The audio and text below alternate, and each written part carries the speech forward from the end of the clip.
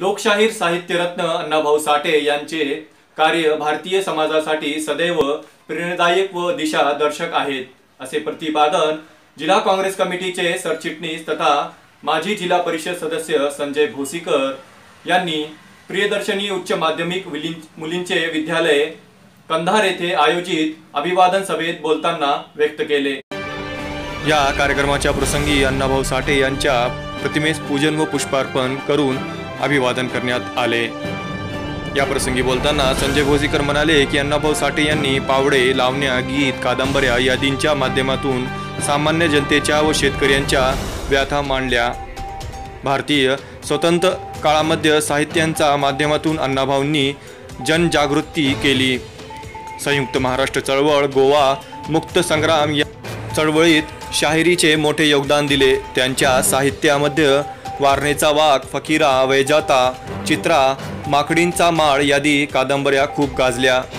त्यांचे पृथ्वी ही शेषांच मस्तकावर तरली नसून शेतकऱ्यांच्या कष्टकऱ्यांच्या हातावर तरली आहे हे वाक्य रशियामधील मॉस्कोच्या लेनीग्राउंड चौकामध्ये लिहिले आहे. फक्त दीड दिवसात शाळेत जाऊन त्यांनी केलेले कार्य भारतीय समाजासाठी आजही दिशादर्शक व प्रेरणादायक आहे. असे संजय भोसीकर म्हणाले. यावेळी सौभाग्यवती वर्षताई भोसीकर यांनी अण्णाभाऊ यांच्या जीवनावर विचार मांडून त्यांचे विचार अंगीकृत करण्याचे आवाहन केले.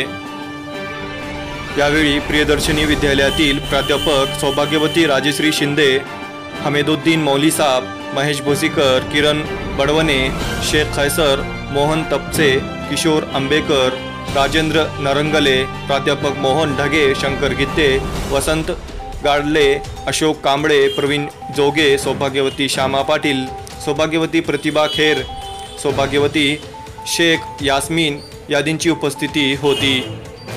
ब्युरो रिपोर्ट जनतेचे मत कंदार नांदेड.